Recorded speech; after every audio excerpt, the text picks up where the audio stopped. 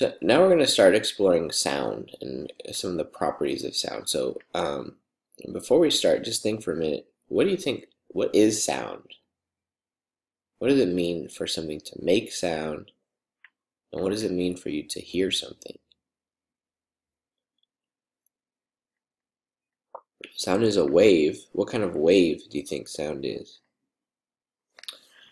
All right, well, let's get into it a little bit, okay? So, sound is a longitudinal wave. Okay, so we talked about transverse waves before. Sound is a longitudinal wave. A longitudinal wave is one where the vibration of the particles is parallel to the path of the particles. Okay, and so it kind of creates like little pockets of pressure. So here you have like a visual example particles are moving back and forth, and the waves moving to the side, so it's parallel.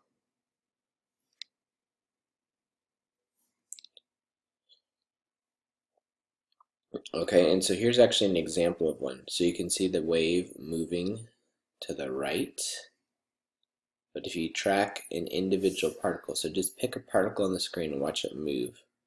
And what is it doing? What is the individual particle doing that you see? Hopefully you can see they're just kind of bouncing back and forth, back and forth. And this is a longitudinal wave. Okay, and sound is really the the main kind of longitudinal way that we're going to investigate.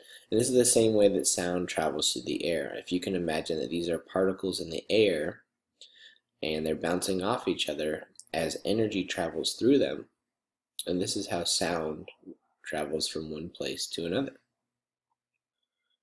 Okay, so here's some property of longitudinal waves. So this distance between like two compressions or, or let's start here. The place where it gets really dense is called a compression.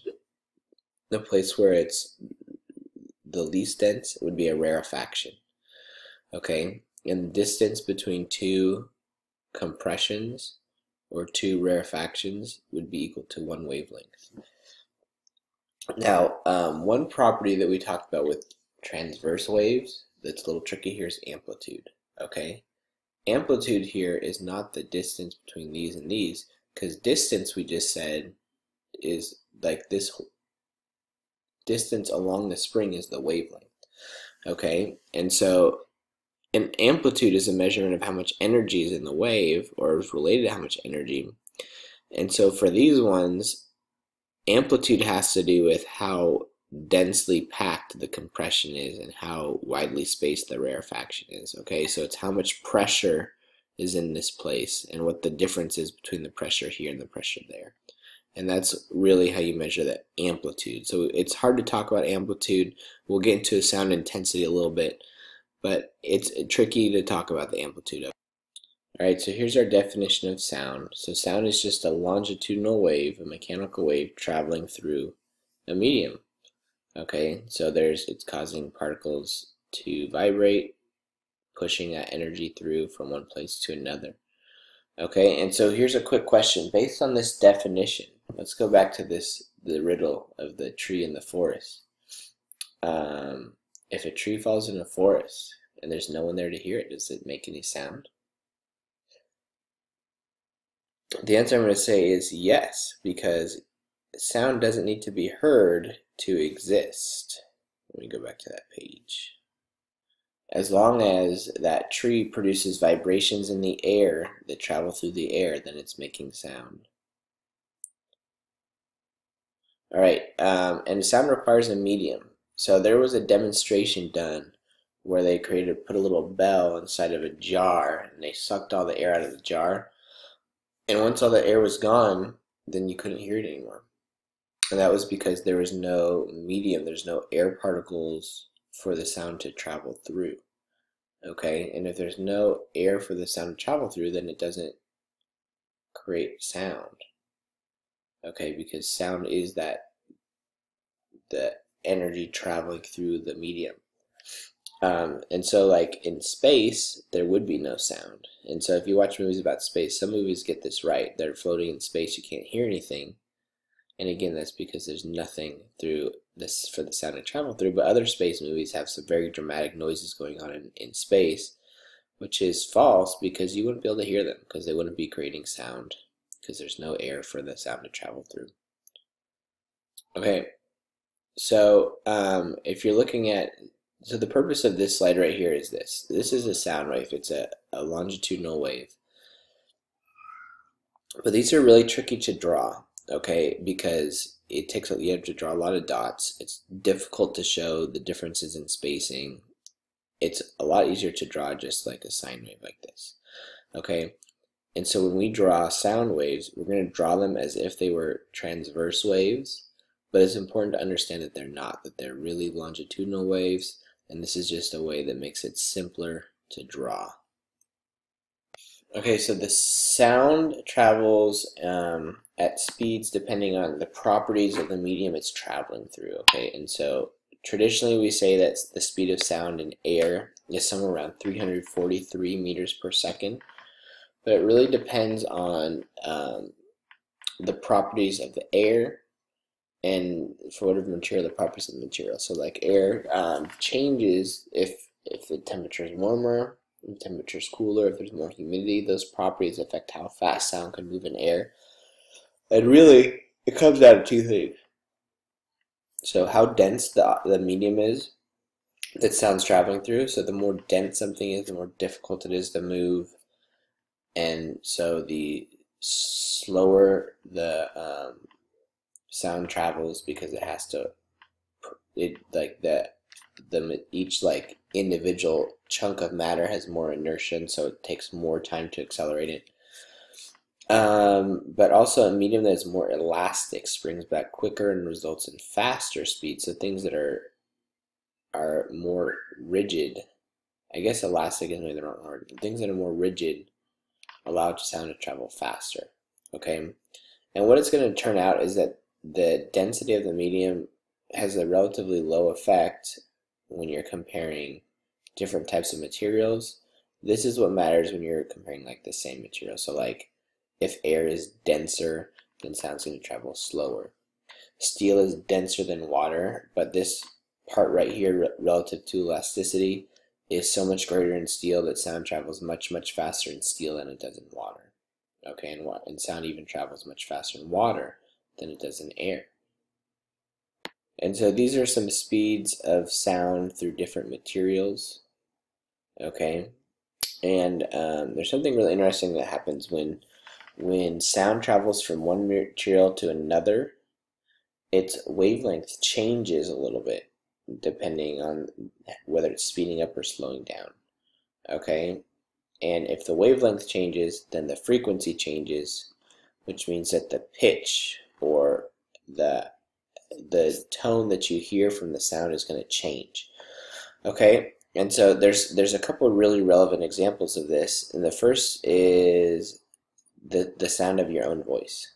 Okay, um, probably you can't stand the sound the way that your voice sounds, but you notice that uh, nobody else seems to notice that your voice sounds so strange, and like if you listen to a recording of it, and the reason why is that when you listen to yourself talk, you hear something different from everybody else.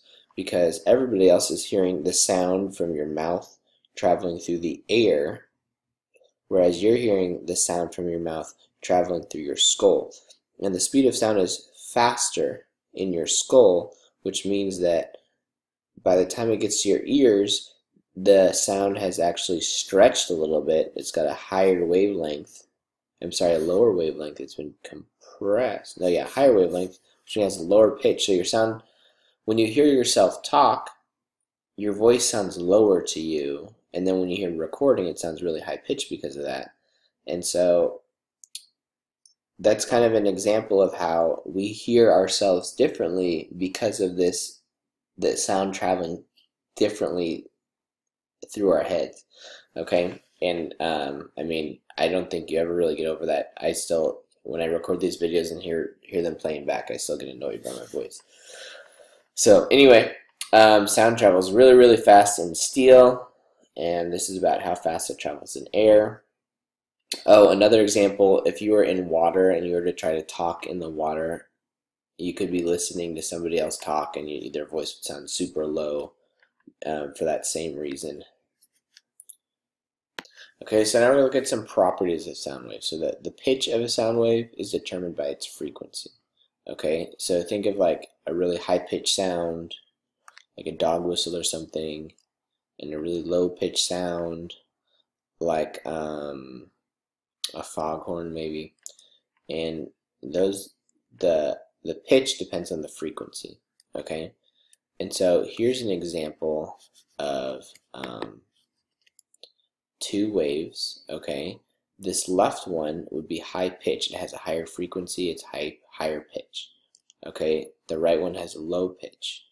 All right, you can see it's spaced further apart. They have larger wavelengths, lower frequency. Okay, and the volume is determined by the amplitude. Okay, so now remember we discussed amplitude is tricky with sound, but that would be a loud sound wave. This would be a quiet one. And the difference in these peaks, the heights of these peaks, is going to come down to um, differences in the amount of, like the pressure differential of the wave, and we'll get into that later. So which type of waves are sound waves? They are longitudinal.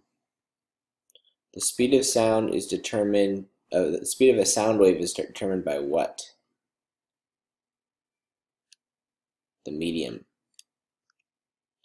Which sound wave represents a quiet, low-pitched tone?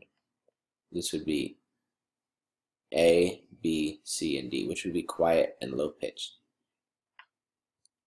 It would be D. Okay, low. It's quiet because it has a smaller volume, smaller amplitude. It's a lower pitch because there's a smaller, or the frequency is lower as compared to that one. The pitch of a sound wave is determined by what? Just said it, the frequency. In which medium would a sound wave travel the fastest? It would be iron. Would sound travel in a vacuum? No. Alright, so that will do it for this first video on sound. Okay, please let me know if you have any questions.